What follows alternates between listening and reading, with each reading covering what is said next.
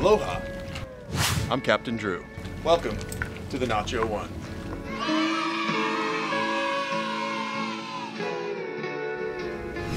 Thank you for joining Kaimana Divers today. I'd like to take a few minutes of your time right now to introduce you to some of the safety features aboard this Island Hopper 30-foot dive vessel. At this time, please turn off your electronic devices as they may interfere with our navigation and cause lightning strikes.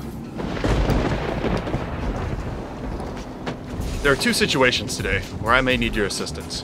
One of those is in case of fire. The other one is in case of a man or woman falling overboard while the boat is moving. In case of fire, please alert the captain or the crew, or just put it out. We have two dedicated fire extinguishers, one to either side of the V-berth doorway.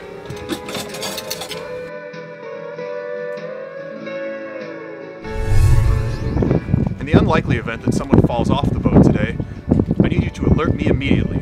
Point to the person. Do not take your eyes off of them.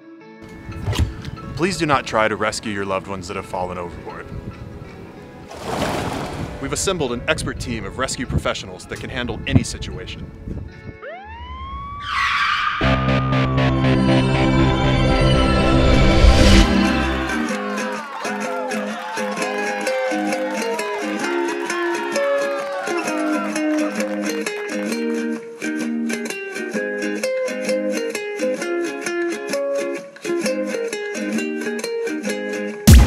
Life jackets are located in the V-berth, the forward section of the boat.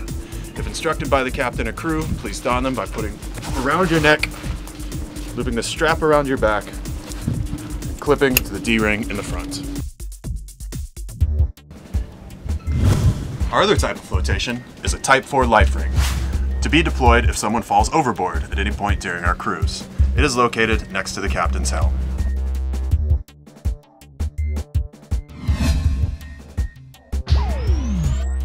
Carry-on bags today need to be stowed in the V-berth, forward section of the boat, to the left of the doorway.